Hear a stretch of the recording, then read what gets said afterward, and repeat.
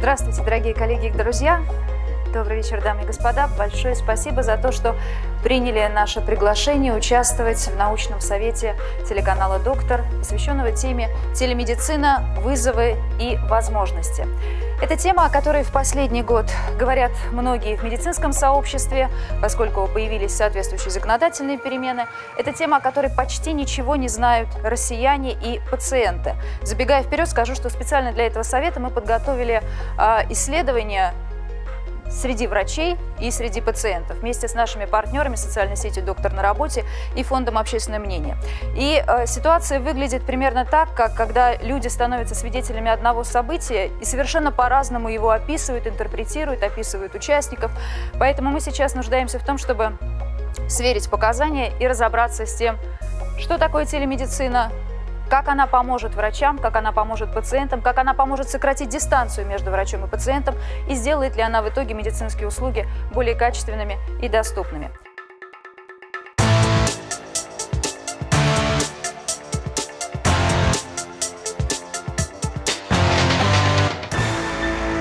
Я с удовольствием приглашаю на сцену Андрея Дмитриевича Каприна, генерального директора Национального исследовательского центра радиологии Минздрава России, главного внештатного онколога России, Дмитрия Юрьевича Пушкаря, заслуженного врача, а, главного уролога Минздрава России, Департамента здравоохранения Москвы, практикующего хирурга, член-корреспондент Российской академии наук, Гузель Эрнестовна Улумбекова, руководитель Высшей школы организации управления здравоохранением, председатель правления Ассоциации медицинских обществ по качеству медицинской помощи и медицинского образования. Гузель Эрнестовна.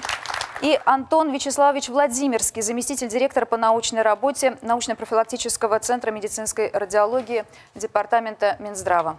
Спасибо большое, господа, еще раз. А Я напоминаю, что на нашем научном совете говорить можно и нужно всем, поэтому а, вы не зрители, вы активные участники нашей дискуссии. Вести эту дискуссию мне помогают Константин Иванов и Ольга Найман. Ну а сейчас еще раз напомним, что такое телемедицина. Я хочу сказать, что, знаете, рассказывать о ней едва ли проще, чем ее внедрять. Мы это поняли, когда создавали программу о телемедицине, когда э, пытались это осмыслить. И я предлагаю посмотреть небольшой сюжет на эту тему, чтобы напомнить и присутствующим в зале, ну а главное нашим телезрителям о том, какие сегменты, какие проявления телемедицины сегодня существуют. Лечение на расстоянии до недавнего времени было исключением из правил. Но сегодня медицина достигла такого уровня, при котором приезжать на личный прием к доктору уже не обязательно. 1 января 2018 года в силу вступил закон о телемедицине. Теперь врачи получат возможность консультировать пациентов по телефону, скайпу, через мессенджеры и специальные приложения. Новый закон не значит, что врач может открыть WhatsApp, начать консультировать через WhatsApp и брать за это деньги. Ни в коем случае. В законе очень четко описано, вернее во всех э, актах, э, что э, это через сертифицированные информационные системы, при наличии лицензии, медицинской организации и так далее. Согласно закону, на первом дистанционном приеме врач может только оценить симптом, назначить план обследования и пригласить пациента на очный прием. Ставить диагноз и назначать лечение нельзя. После очной встречи разрешается менять рекомендации онлайн. Добрый день, Сергей и Олег, мы вас видим. Видим, что вы готовитесь. Герой России, космонавт Олег Артемьев, на орбите проходит функциональный тест на велоэргометре. Врачи на Земле следят за работой его сердца в невесомости. Сергей, мы сейчас записываем пока просто покой. Будет небольшой перерывчик в телеметрии. Как он пройдет, тогда начнем педалирование. Хорошо, принял. В космосе телемедицинские технологии применяются уже более полувека. Даже то, что есть э, аппаратура ультразвуковой диагностики, есть э, функциональная диагностика, есть э, биохимический анализ, общеклинический анализ, который проводится прямо на борту. То есть на самом деле такая маленькая мини-поликлиника. В перспективе такие мини-поликлиники могут появиться в квартирах жителей Земли. А уже сегодня история болезни, рецепты и рекомендации в мобильном телефоне пациента. Специальное приложение напомнит, что пора принимать лекарства и в любой момент позволит связаться с лечащим врачом. Я вам скинула данные КТГ. Э, как результаты? Понравились или нет? Здравствуй, Катя. Да, посмотрел я твой КТГ, мне абсолютно понравился, и я очень доволен. Малыш себя чувствует хорошо. Гаджеты, которые фиксируют и передают информацию о состоянии пациента врачу, не только экономят время, но и спасают жизнь. Ведь чем скорее будут проведены необходимые исследования, тем быстрее начнется лечение. Ты можешь в любой момент любую жалобу пациентки о характере шевеления плода ответить четко. Попросив ее просто приставить датчики, ты увидишь, действительно все хорошо или нет. А это уже пример взаимодействия в формате «врач-врач». Гибридная операционная в госпитале Вишневского. Здесь пациенту одновременно могут делать сразу несколько операций. А контролировать их будут врачи, которые находятся далеко от операционной, при помощи видеосвязи. Телемедицина в России сегодня может не только показывать и обучать. Операции, в которых хирург участвует удаленно, это тоже реальность. Телемедицина – это роботическая хирургия. Почему? Потому что я находился удаленно от пациента, пациента не касался. Телемедицина, телемедицина. С помощью робота да Винчи хирург делает сложные малоинвазивные операции. Процессом врач управляет со специального пульта, который может находиться как рядом в операционной, так и за тысячи километров. Главное условие – высокоскоростной канал связи. Искусственный интеллект – еще один формат телемедицины. Нейросети анализируют изображения и выявляют патологию. Этому их обучают врачи.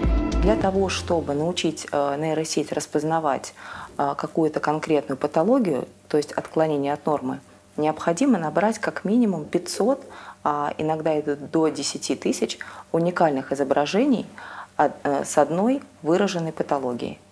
Но для того, чтобы телемедицина в России заработала в полную силу, необходимо создать информационную систему, охватывающую всю страну. То есть это должна быть единая электронная система. В каждом диспансере она должна быть... Я не говорю, что она должна быть одинаковая в каждой клинике, но она должна быть сопоставима и сравнима. И данные с этой системы должны будут сравниваться по одним и тем же показателям. Итак, вот такие возможности телемедицины сегодня существуют. О них знают, как я уже сказала, совсем немного россиян, но, по идее, должны были с энтузиазмом воспользоваться этими возможностями врачи. Поэтому у вас есть таблички. А, Зеленый цвет означает «да», красный «нет». Я предлагаю в начале э, с программы ими воспользоваться и ответить на вопрос. Телемедицина изменила вашу профессиональную жизнь за последний год? Пожалуйста, да, нет. Пожалуйста, Андрей Дмитриевич, как бы вы проголосовали, э, будь у вас такая карточка, но мы у вас ее забрали предусмотрительно, и э, как телемедицина меняет э, работу онкологов и вашего центра? Мы в течение уже трех лет с небольшим ведем телемедицинские конференции каждый вторник и пятницу без 15.9.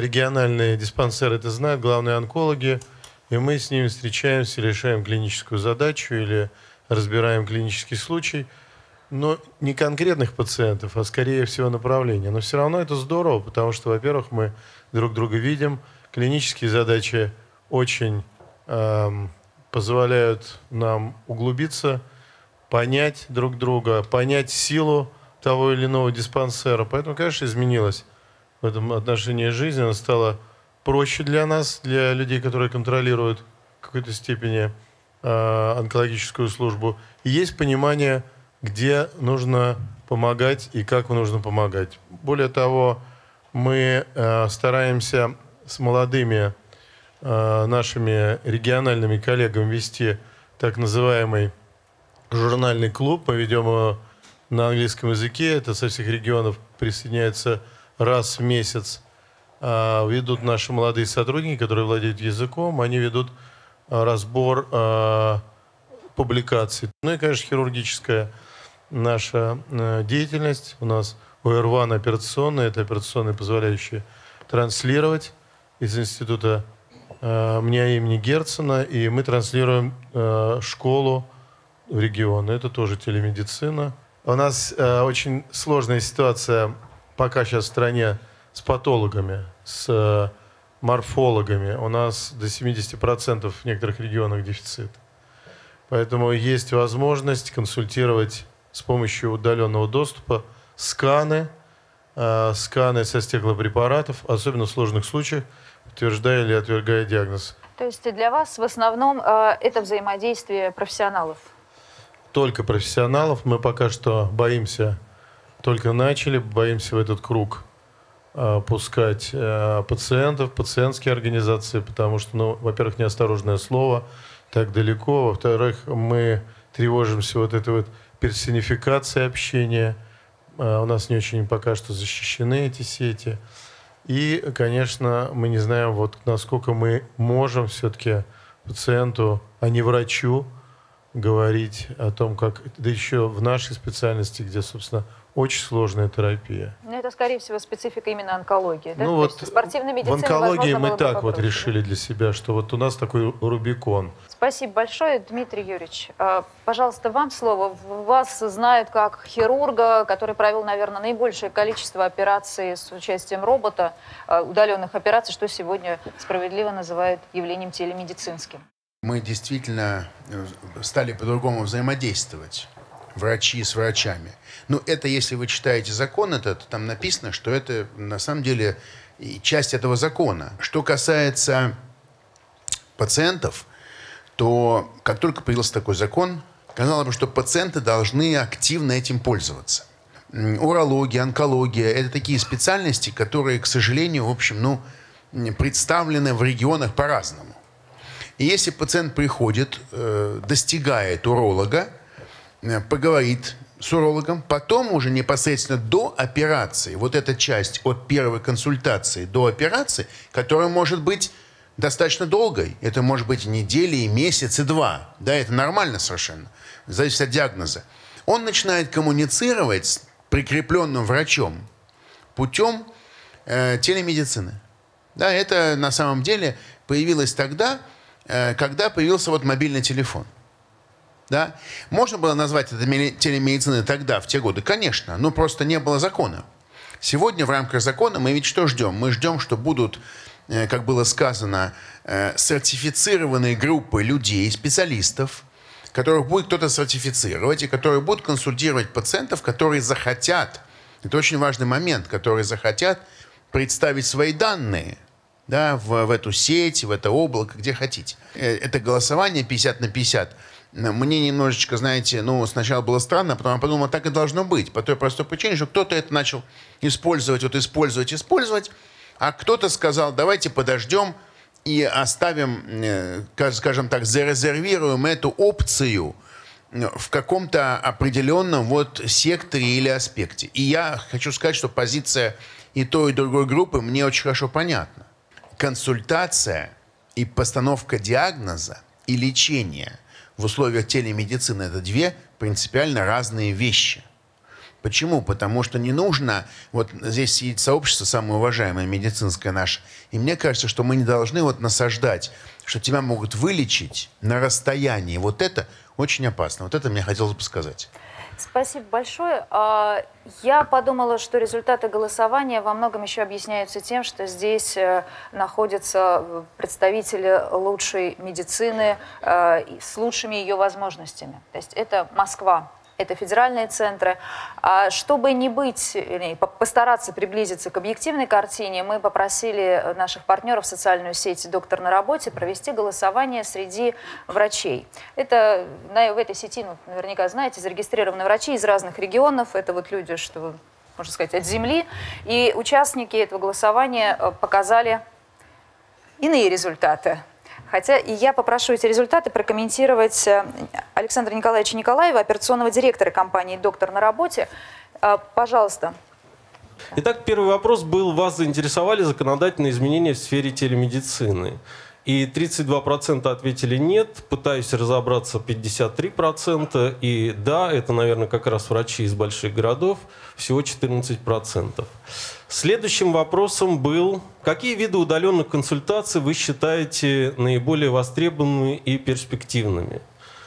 А, Ну вот э, врач-врач, в принципе, как правильно было подчеркнуто, является уже не новинкой. Это, в принципе, было уже очень давно. Врач-пациент, как вы видите, всего лишь 5%. Считают наиболее востребованными Да. и перспективными. Да. Ну, врачи-консерваторы. И оба, оба элемента Здесь могут быть 56. разные да. варианты да, ответов, и мы об этом поговорим. И оба элемента это 56%. Совершенно точно. А, Следующий вопрос был, как вы относитесь к возможности дистанционной диагностики и лечения пациента? Здесь, как вы видите, наше врачебное сообщество разделилось практически напополам. Мне кажется, вот на следующем слайде будет ответ на этот вопрос, почему так происходит. Итак, следующий вопрос. Стали ли вы в большем объеме использовать технологии телемедицины в последний год? 40% врачей ответили, что в принципе они уже этим занимаются, используют новые технологии, и им ничто не мешает, так сказать, это осуществлять на практике. Но оно, здесь нужно было отметить, что используют официально, используют неофициально. Достаточно большой разрыв. То есть э, да. большая часть пациентов, использует, э, врачей используют эти технологии неофициально. Неофициально. Угу. В чем вы видите главное препятствие для развития телемедицины в России? Что удивительно, всего 10% врачей ответили, что отсутствие финансирования. Но вот больше всего это слабая инфраструктура и высокие риски для врачей. Да? Потому что врачи все-таки, э, наверное, изучив закон о телемедицине, каким-то образом опасаются ставить, вот, выносить свои суждения, ставить диагнозы без общения личного с пациентом. В принципе, вот с моей точки зрения, основной вывод, который был на одном из слайдов, что большинство врачей используют э, телемедицину неофициально уже сейчас, говорит о том, что если наши государственные органы управления здравоохранением не будут каким-то образом форсировать события, то очень скоро э, де-факто телемедицина у нас будет.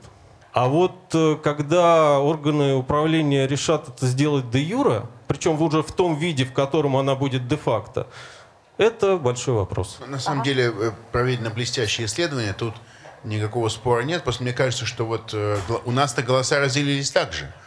Почему? Потому что мы должны понимать, что реальная жизнь-то одно, и, и э, на самом деле люди боятся телемедицины только потому, что им зачастую нечего показать крупных городах они могут показать, там, условно, сфотографировать пятно на э, коже там, или какой-то анализ, да, а в мелких вот таких действительно городах, о которых я говорил, э, им нечего показать очень часто. Им нужно пойти к врачу, чтобы получить направление на анализ.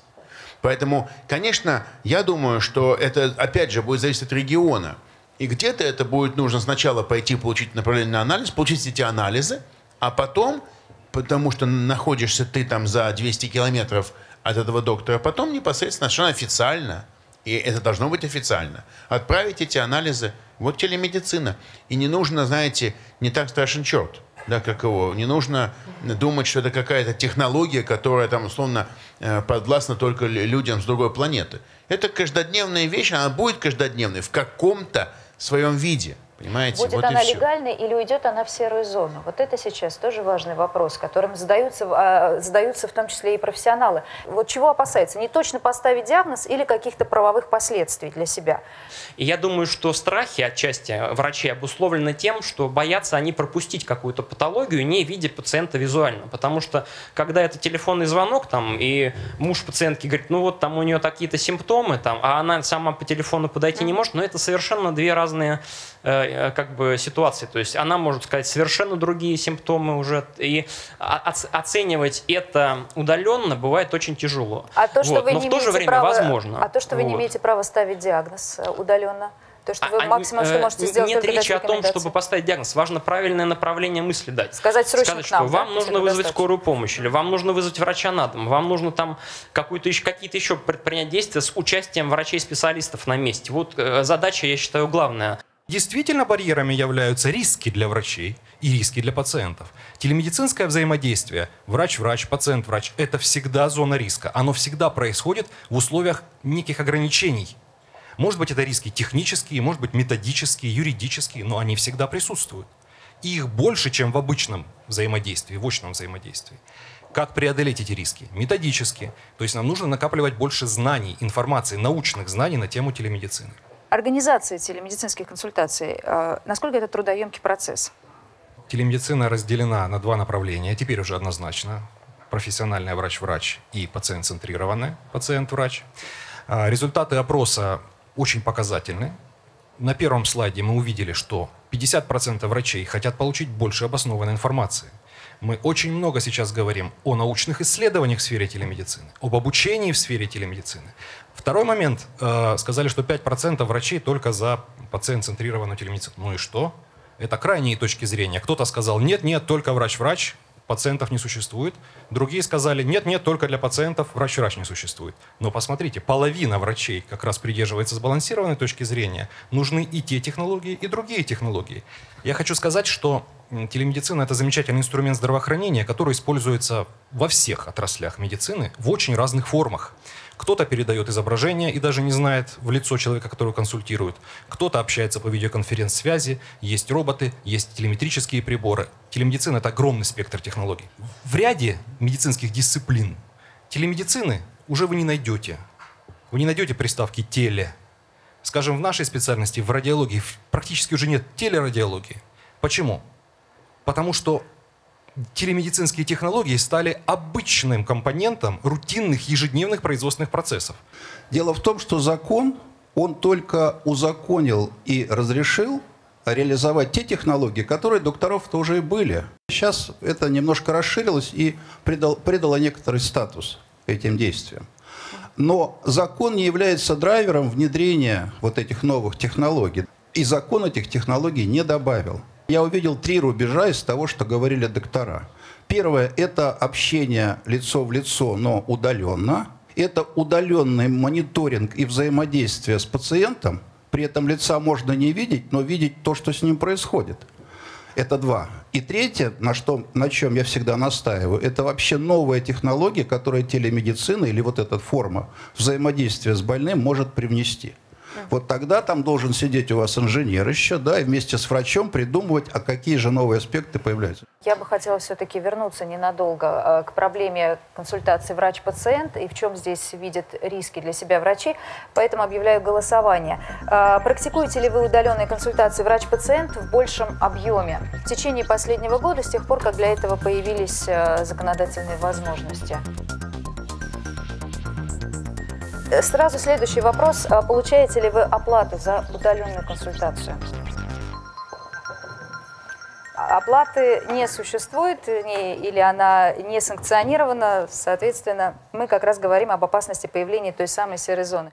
Мы уже полтора года э, предоставляем людям возможность пообщаться с врачом. Та часть телемедицины, которую мы предоставляем, это возможность получить вот тот самый разговор с врачом, то есть стать более компетентным с точки зрения медицины о том, что сейчас происходит. Это не постановка диагноза, это не выписывание лекарства, это вот такой совет с врачом. У меня такой вопрос. Кто ваши основные клиенты, если мы говорим о пациентах? Москва примерно половина всех э, пациентов, э, примерно еще процентов 20 это Санкт-Петербург, остальное так. А со стороны врачей? Со стороны врачей это Москва и несколько, несколько городов Казани, например. Да, и э, стоимость консультации? Стоимость консультации у нас сейчас от 100 рублей, это быстрая консультация. Вот один вопрос, поговорить 5 минут с врачом, и сейчас 500 рублей это консультация А быстрая консультация это как? Это? Задать вопрос, это, это на самом деле а просто телефон, второй вопрос, звонок. платите еще 400, да? Мы действительно не верили, ну как так вот 5 минут, казалось бы, вот ну о чем можно вообще за пять минут поговорить. Садим врача, говорю, давай проверим. Проверяем, звоним, за три минуты успели расспросить, узнать все на вопрос, ответ это, получили. Это блестящая перспектива для телевизионного формата. На мой взгляд, вообще телемедицина – это важнейшая составляющая вообще всех IT-технологий, которые сегодня внедряются в здравоохранении. И я не знаю, нет данных отдельно, сколько стоит телемедицина, но я могу привести данные, сколько тратят последние годы, 4-5 лет, Российская Федерация потратила примерно, это без учета медицинских организаций с федерального уровня, 30 миллиардов рублей. Примерно за этот же срок американцы потратили около 28 миллиардов долларов. А британцы, наши коллеги, это только вложения федерального центрального уровня. Потратили, потратили 4,5 фунта, миллиарда фунта стерлингов. Ну вот давайте сравним, много это или мало. Если переводить по паритету покупательной способности, то по сравнению с Америкой мы потратили в 25 раз меньше за тот же период времени. По сравнению с Великобританией мы потратили в 4 раза меньше. Ну, соответственно, мы меньше смогли внедрить инфраструктуру. А, и, соответственно, наверное, оснащенность в некоторых регионах ниже, нежели чем в Москве или в центральных научно-исследовательских наших институтах. Это первая составляющая.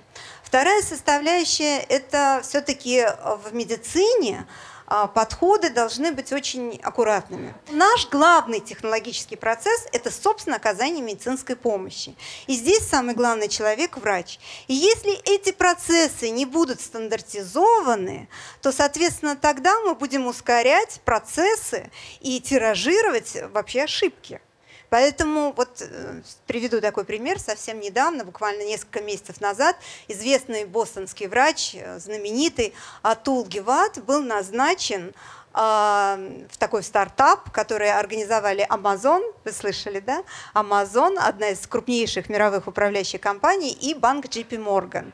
И почему они выбрали не IT-специалиста, а врача? Потому что только врач может правильно вместе с IT-специалистами сказать, как правильно организовать процессы. Ну и теперь перехожу к тому, что надо делать.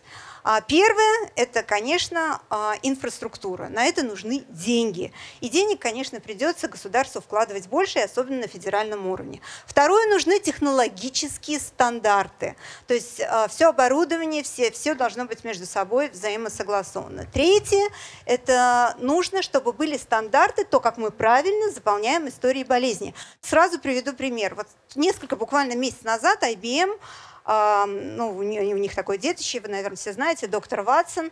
Ну и вот э, врачи заметили, что доктор Ватсон дает советы, которые, в общем-то, противоречат действующим онкологическим клиническим рекомендациям. В чем дело? Оказывается, в программу этого доктора Ватсона вводились данные, которые были не до конца клинически проверенными, и в результате неправильный результат. Значит, поэтому данные надо собирать верно, и в том числе при взаимодействии с помощью телемедицины. Третье, нужна мотивация. Что такое? Врачи будут всегда сопротивляться. В Америке, например, просто вот во время этой программы раздали по 40 тысяч практикующим врачам, чтобы они ставили IT-технологии, и примерно по 2 миллиона долларов каждой крупной больнице, которая согласилась участвовать в этом эксперименте. И с 2019 года больницы и врачи будут получать, если они внедрили правильно IT, будут получать дополнительные деньги. Мы можем, конечно, рассуждать, де-факто, де-юра внедрится телемедицина. Конечно, дай бог она де-юра внедрится, потому что де-факто не надо ничего внедрять без стандартов, без правил и без государственного регулирования. И вот государственное регулирование – это очень важная составляющая. Мы должны прописать и законы, и подзаконные акты, про которые здесь говорили. Э, неправильные рекомендации, данные доктором Ватсоном, то есть компьютером Ватсоном. А что за ними стояло? То есть это кого-то лечили неправильно, кто-то умер? А, вообще вот в эти так называемые intelligence systems, про которые, ну или интеллектуальные системы, вводятся данные. Я данные понимаю. должны вводиться о пациентах. Угу. А там ввелись неправильно заполненные данные, частично данные, и, естественно, когда компьютер обрабатывает, он дает неправильную рекомендацию. Совершенно верно, потому что это одна из причин, по которой э, пациенты, россияне, боятся телемедицины. Это тоже мы выяснили с помощью исследований, их крайне пугает перспектива, что им кто-то будет назначать лечение, кто-то будет давать рекомендации, кто их не видел, потому что доктор Иван Иванович Андрей Дмитриевич и Дмитрий Юрьевич – это вполне живой человек, с ним важен контакт. Это одна из э, причин вот этого недоверия. И еще вопрос, нужны деньги. А сколько? Больше, чем в нацпроекте здоровья? Нужно в четыре раза больше. А, четыре раза больше. Андрей Дмитриевич, вы э, сказали, что начали с того, что больше трех лет внедряете, используете телемедицинские консультации врач-врач. Но это тоже требует инфраструктуры. Насколько это затратно? Действительно, с, до, э, с компьютером доктор Ватсон, который действительно себя не, не показал в онкологии при тех огромных вложениях, триллионных, которые есть. Но э, есть даже такая американская шутка, что у них случился рак мозга у компьютера доктора Ватсона, и, и она действительно прошла, эту шутку, но деньги уже не вернешь. Значит, что касается дальнейшего вот этого отношения и развития, понимаете, это нужно было нам, для э, общения с регионами. Невозможно ездить все время. И когда появилась возможность помогать регионам, то это стало, конечно, де значительно дешевле, чем э, бесконечно отправлять группы в разные регионы нашей страны.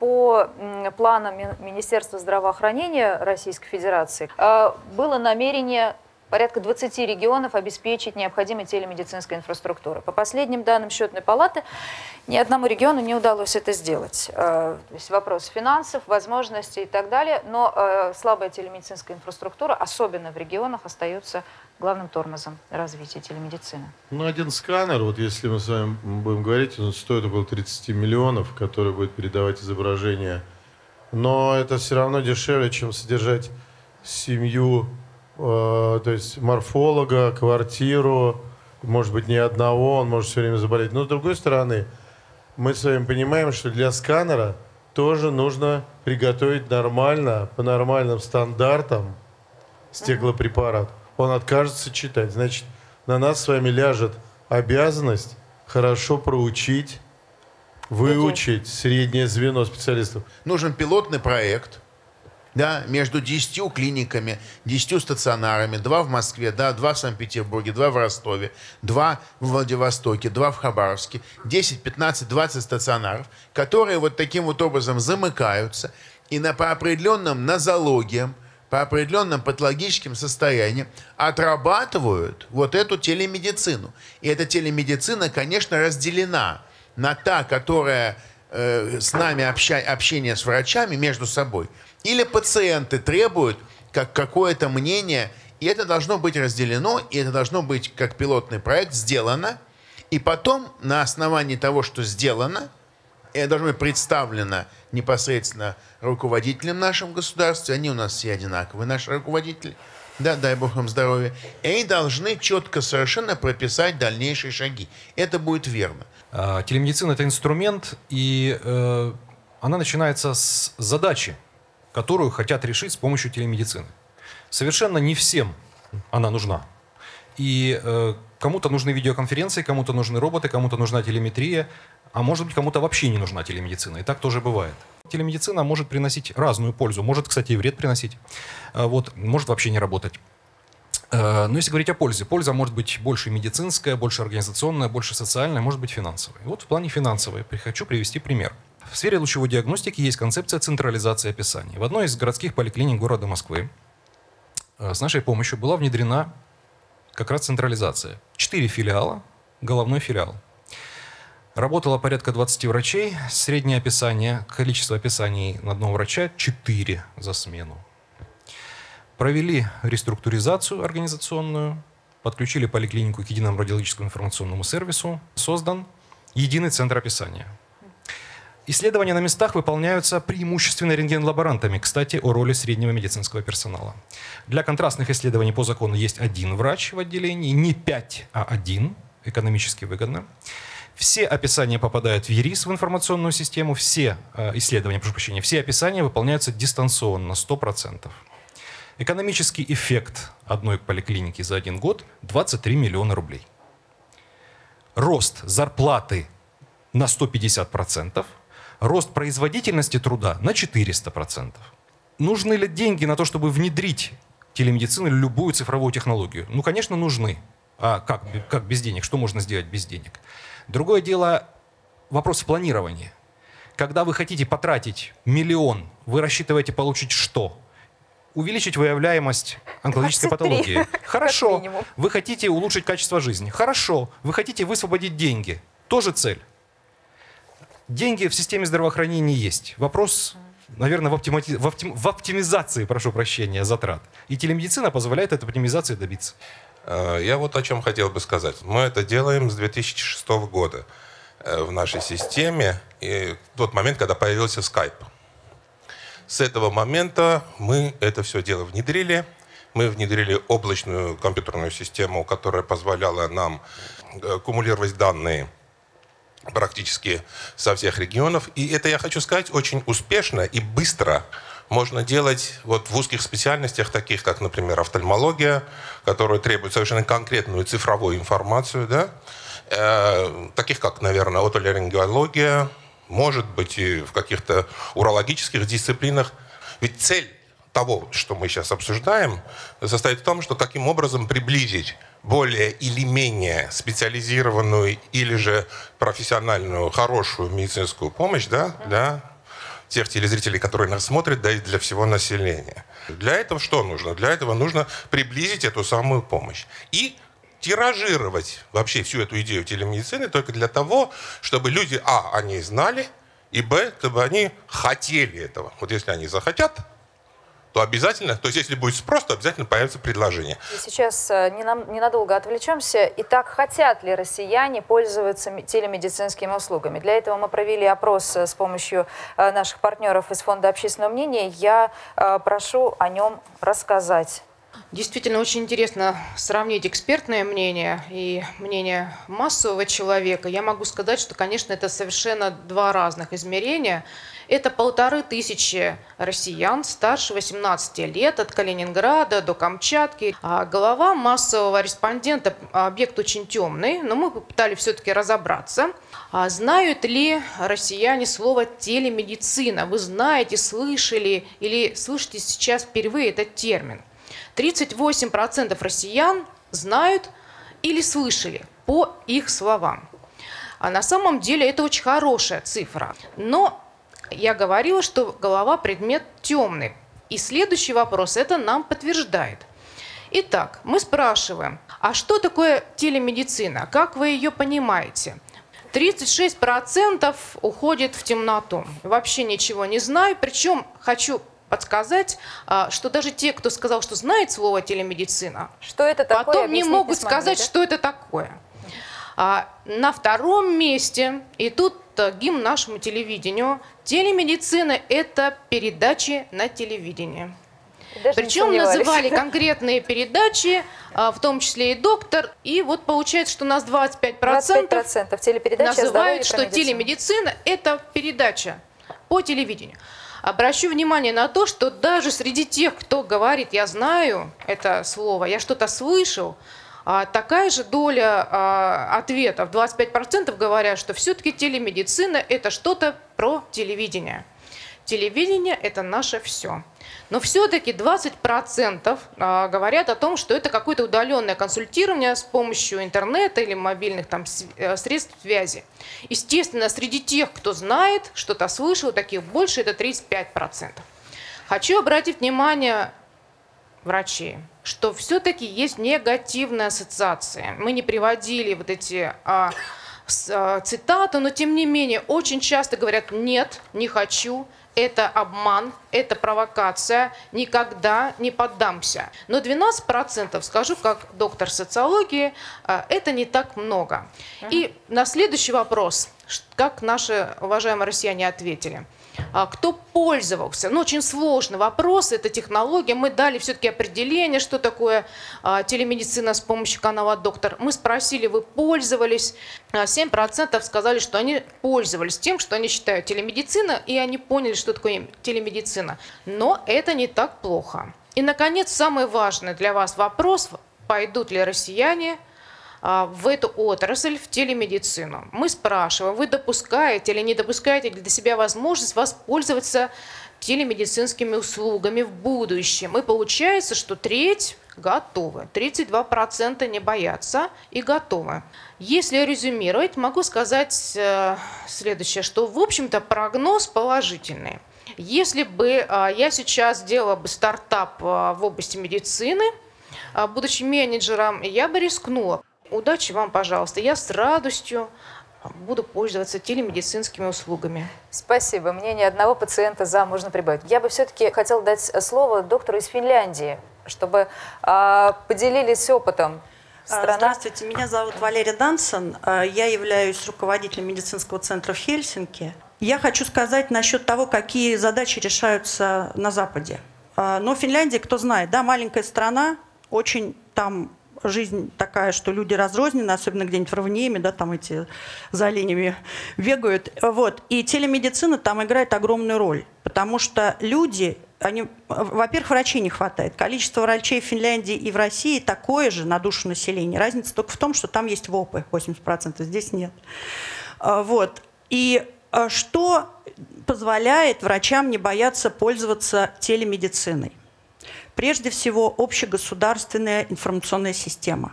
То есть я, например, вот приехала сюда, у меня пациент со мной связался, говорит, вот у меня такая проблема, не могли бы мне помочь. Я могу из Москвы зайти в общегосударственную систему и посмотреть, где он лечился, в, каком, в какой университетской там клинике, что ему назначили хирурги, онкологи. И я врач общей практики, да, у меня профессия такая, я могу э, как бы ему назначить лекарство, не боясь, что я его не пойму. И по поводу денег. Финляндия потратила 5 миллиардов. Представляете, такая страна, 5 миллионов людей живет, да, то есть треть Москвы. 5 миллиардов евро только на то, чтобы сделать эту систему. То есть это не телемедицина никакая, это только вот эта вот база данных, куда все медицинские центры под определенным стандартом свою информацию складывают. Второй момент – это то, что существуют стандарты. Люди, врачи, они лечат по определенным стандартам. То есть не может врач, например, там, в Раваньеме лечить как-то очень сильно по-другому, чем тот, который в Хельсинки. То есть вот это помогает врачам быть уверенным, что телемедицина не принесет никакого вреда. А, продолжая тему э, вообще роста популярности и проникновения информации о телемедицине, чуть-чуть вернусь назад, хотела поделиться нашей статистикой. А, на рынке мы уже три года. А, сейчас у нас порядка 60 тысяч консультаций, проведенных, завершенных. Естественно, речь не идет о постановке диагноза и выписывании рецептурных лекарств. Это консультативная помощь. Так вот, э, если полтора года назад у нас обращаемость была э, в процентном соотношении первичных консультаций 30%, 70% было первичных консультаций, 30% возвратных, то есть повторных, люди обращались во второй, в третий раз, то сейчас совершенно обратная ситуация. У нас 70% повторных, то есть эта возвращаемость, она растет. 30% это первичные. И здесь можно сказать, что еще добавлю, что у нас федеральные сервисы, то есть мы, мы работаем не только на Москву, Петербург, мы работаем повсеместно со всеми русскоязычными людьми, кто может к нам обращаться. А, врачи у нас из Москвы и Санкт-Петербурга сейчас работают. А, и это где-то 80% обращений именно из регионов. А, многие считают, что это такая привилегия там, Москвы и Петербурга, что многие знают. Нет. Сейчас у нас более 150 врачей. Два формата консультации. Это дежурные врачи, которые в круглосуточном режиме принимают обращение. Это 3 минуты, золотой стандарт. И врачи, которые работают по расписанию, это врачи узких специализаций уже, соответственно. Спасибо. Евгений, пожалуйста, коротко. Добрый день. Э, меня зовут Евгений Поперный. Я работаю руководителем проекта Mail Здоровье. Мы занимаемся дистанционным ответом на вопросы э, наших посетителей о медицине силами 180 в нашем случае врачей уже больше 8 лет. И мы помогли э, более чем 300 тысячам человек. Есть очень много вопросов, которые начинаются со слов. Я к врачу никогда не пойду, но что же это за люди? Да? Это не люди, которые боятся врачей. Это женщины, которым требуется гинекологическая помощь в регионах Северного Кавказа, где полностью отсутствует медицинская тайна. И они не могут с огромным количеством нозологий обратиться к специалисту. Иногда они даже присылают фотографии. И фототехника в современных телефонах такая качественная, что страшно смотреть на то, что они присылают. И мы оказываемся той единственной э, организацией, которая способна предотвратить для них развитие ситуации, которая закончится бесплодием, надавить на них как-то психологически, чтобы они выехали из своего региона и обратились за медицинской помощью. Вот такая картина в э, той телемедицине, которая, в общем-то, фактически еще погружена в коммерческий сектор. Ну, например, у нас есть организации, которые получили инвестиции в объеме миллиарда рублей, да, и расходуют их крайне эффективно, коммерческие компании. И в этих структурах есть и онлайновая электронная карта э, медицинская, история болезни, совмещенная со всеми отечественными ГОСТами, и система контроля качества оказания медицинских услуг, э, и система распознавания медицинских изображений, защищенные, сертифицированные в стеком э, мессенджеры для врачей и пациентов. Вообще телемедицина, по моему видению, это как интернет, это телефон, это компьютер, телевизор и так далее. Это любой метод связи двух людей. А как это используется, это уже другая часть. Также был опрос по, э, у людей, знают ли они, что такое телемедицина. они не знают. Не было достаточно работы проделано не коммерческими структурами, ну, в отсутствие Яндекса и Мэла, у которого гигантские бюджеты э, для таких вещей, чтобы рассказать людям на главной странице, используя таргетированные рекламы, телемедицина, телемедицина, телемедицина. Но объяснение, что это значит для пользователя, для пациента, не было. И это огромное, как бы, ущерб развивания вот этой индустрии. Также и докторам. Uh-huh. Им не объяснили, что это такое, их не научили, им просто надеялись, что мы включим как бы скайп, включим вот холодильник и разбирайся с ним, что дальше с этим делать. Это вот инфраструктура инфраструктурой, а очень важно учить всех как бы участвующих в этом цикле, что с этим делать. Это очень важная часть. Да. Спасибо большое. Спасибо большое. Сейчас я предлагаю проголосовать, потом у нас еще будет возможность несколько реплик озвучить. Так, согласны ли вы с тем, что телемедицина неизбежно и принципиально изменит профессию врача и его отношения с пациентом? А вы, наверное, тоже согласны, да, Андрей Дмитриевич? Никто не спорит. А редко единодушие нет, есть все-таки. Кстати, из-за таких, как вы, мы на втором месте. А, спасибо за это, а, за это голосование, за этот результат. Я хочу обратиться к академику Вадиму Марковичу Говоруну, руководителю Центра физико-химической медицины ФМБА. Пожалуйста. Я бы хотел сказать на самом деле две вещи. Первое, а, действительно, я согласен с людьми, которые здесь говорили, и немножко не согласен с молодыми коллегами, которые по определению революционеры телемедицина ведь это на самом деле всего лишь способ. И дальше, понимаете, у нас есть очень много этажей вот того, как э, здесь говорилось уже. Да? Чем сложнее инфраструктурно страна, чем больше она уже вложила в образование, тем меньше те способы, которые сегодня обсуждались, нужны. Ну, потому что если бы в, даль в дальних регионах было много квалифицированных врачей, я называю вещи своими именами, то, наверное, не было бы необходимости с помощью каких-то способов связи поддерживать необходимые, э, необходимое качество и стандарт лечения. Они бы все и так знали. Во всех цивилизованных странах, как говорили коллеги, примерно лечится одинаково. С другой стороны, телемедицина это, в будущем это эффективный способ накопления того, что называется big data. Когда на смену или сначала в помощь к врачу, я, может быть, скажу крамольную, вещи в аудитории, придут э, компьютерные помощники. И в России эта проблема чрезвычайно трудна. Она не просматривается а, ни в какой перспективе, потому что здесь правильно говорили, что форматы сбора этой информации, качество того, как готовится первичный цифровой слепок пациента или здорового человека, у нас не привиты. Их нет. И те страны, которые на самом деле давно работают с биобанкингом. То есть это большая инфраструктурная проблема. В связи с этим мне хотелось бы понять, что, вернее, сказать довольно простую вещь. Да? Как говорил Черчилль про русских прыжки в, в два этапа через пропасть приходит к довольно плохим последствиям. Прыгнуть через пропасть в два, в два прыжка нельзя. Надо только через один. Для этого нужно изначально, когда вы готовитесь к прыжку, считать те инвестиции, которые будут вложены в разные элементы этого пазла, чтобы они состоялись как некое целое. Ведь конечная цель-то очень простая, да, чтобы пациенты или клиенты, а к этому все идет, э, были бы охвачены медицинскими услугами очень высокого качества. И как можно дольше поддерживали здоровье, а не э, спускались бы к врачам, как больные люди. Я очень надеюсь на то, что мы все-таки дольше будем оперировать терминами «пациент» и «медицинская помощь», а не «клиент» и «услуга». Я говорю про клиента как э, субъекта здоровья. А к субъекту здоровья слово «пациент» не подходит. Пациент – это больной человек.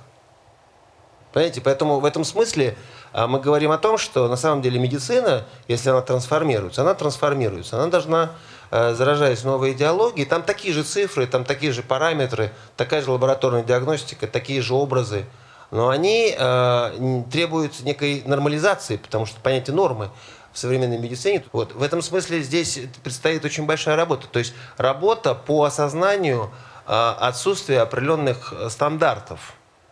Потому что данные, переданные без стандартизации, то есть без того, что врач или считыватель, да, какой бы он ни был, гаджет – э, что угодно, да. Если это не стандартизировано, то получаются анекдоты про доктора Ватсона. Я хочу предоставить очень коротко слово нашему уважаемому президиуму. А, с, вот, наверное, с тем же вопросом по результатам голосования. Если телемедицина неизбежно меняет нашу жизнь, то почему? Пожалуйста, и как?